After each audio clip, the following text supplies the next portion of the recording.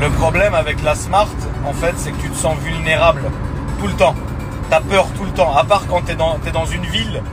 Et euh, en fait, la Smart première génération, la deuxième génération comme celle-ci, t'as peur tout le temps quand t'es sur l'autoroute. Mais par contre, à partir de la Smart 3, ça y est, c'est une vraie voiture, tu vois. C'est, y a pas le même châssis, c'est pas le même délire, tu vois. C'est, t'es, dans un euh, t'es dans une vraie voiture. La Smart 1 et la 2, c'est un joujou, tu vois. D'ailleurs, je vais répondre quand même à la question parce qu'il y en a plein qui m'ont dit ouais, tonton, euh, tu nous as chauffé à acheter des Smart. Euh, qu'est-ce que tu, qu'est-ce que tu peux nous dire?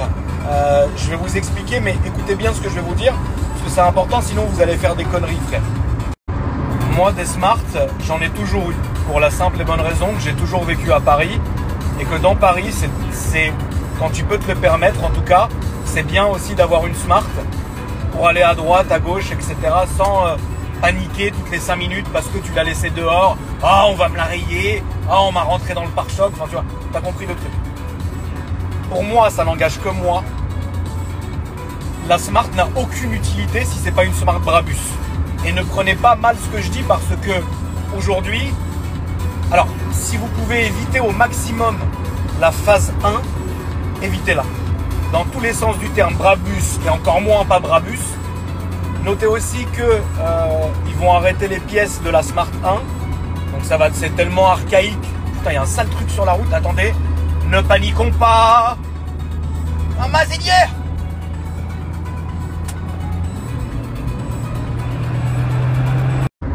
vont arrêter les pièces, je pense, euh, enfin de source, ça c'est sûr, pour la Smart 1.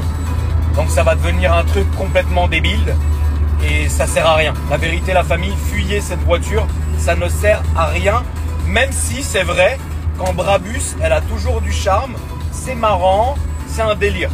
Ça c'est, ça, c'est le premier point. En phase 2, comme celle-ci, encore une fois, que en Brabus, sinon c'est pas marrant. Sinon, il n'y a rien, frère, il n'y a rien.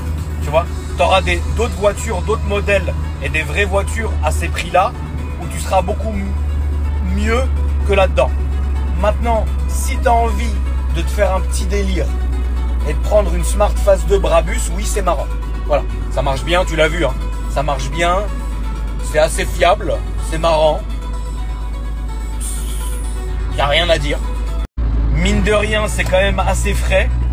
Car regarde, là, il y, a Fresh Detailing avec sa phase 1.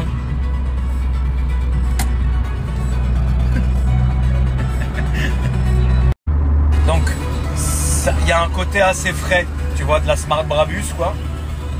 Maintenant, le top reste quand même la phase 3 Brabus. C'est cher. C'est la dernière Smart euh, thermique. Donc, les prix sont réels, tu vois. Moi, je rentre pas dans la catégorie parce que moi, j'ai en ultimate, c'est démesuré, tu l'as compris, tu vois. Mais c'est un caprice. Euh, maintenant, euh, voilà, pour être logique, je te dirais, si tu as envie de te faire un petit délire à moins de 10 000 euros, à moins de 10 000 euros, tu t'achètes une phase 2 Brabus comme celle-là. Voilà, tu vas payer ça moins de 10 000, tu seras pas déçu, ça marche bien, mais voilà, faut pas du tout que ça soit ta seule voiture. À part si t'as 20 ans, t'es célibataire, nique sa mère, tu vois. Tu prends ça, ça fera le boulot, tu vois. Mais sinon, non. Faut que ça soit ta deuxième voiture et tu te fais un petit délire là, ouais. Mais moi, ce que j'aime dans la, dans la Smart Brabus, surtout la phase 2, c'est cette espèce. En fait, t'es à 120, t'as l'impression d'être à 300. Tu vois, c'est horrible. Mais ça marche bien. Faut pas. On peut pas mentir. C'est marrant comme voiture, tu vois. Et ça, ça, s'arrête pas. En fait, ça a une allonge, une espèce d'allonge qui ne s'arrête jamais le temps que la boîte elle passe, tu peux te fumer un cigare. Tu vois, c'est comme ça, machin. Je vais vous faire une accélération. Maintenant, voilà, c'est pas cher à l'entretien. Alors oui, tu as deux pannes qui coûtent cher. L'embrayage et l'accuateur, c'est ça là sur cette voiture là, c'est 1500 euros. Voilà. Donc il y a quand même des choses à contrôler avant de se lancer là-dedans. Mais au pire du pire du pire, ça ne te coûtera jamais ce que tu pourras investir dans une autre voiture ou quoi que ce soit. Faut pas oublier, hein, c'est tout petit euh, et il n'y a pas. Voilà. Donc pourquoi moi je l'ai prise aujourd'hui la mienne C'est que là je suis en train, euh, en même temps que je vais faire mes tournages euh, chez Fresh Detailing, aujourd'hui ils vont la passer en LED la voiture parce que bon faut pas oublier que mine de rien, euh, ça commence à dater comme voiture. Et donc du coup, le fait est de changer, euh, bah, de mettre tout en LED, en fait, euh, tous, les, tous, les luminaires en LED, bah, ça va lui déjà, ça va lui donner un petit coup de jeune.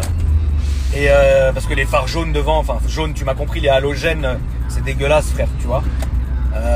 et en plus de ça, en plus de ça, faut dire la vérité, quand tu es sur l'autoroute le soir avec les halogènes, voilà, t'éclaires. Mais regardez comment ça marche, vous allez voir, c'est marrant.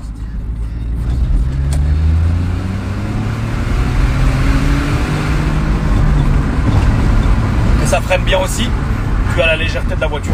Voilà. Tout ce que j'ai à dire, frère.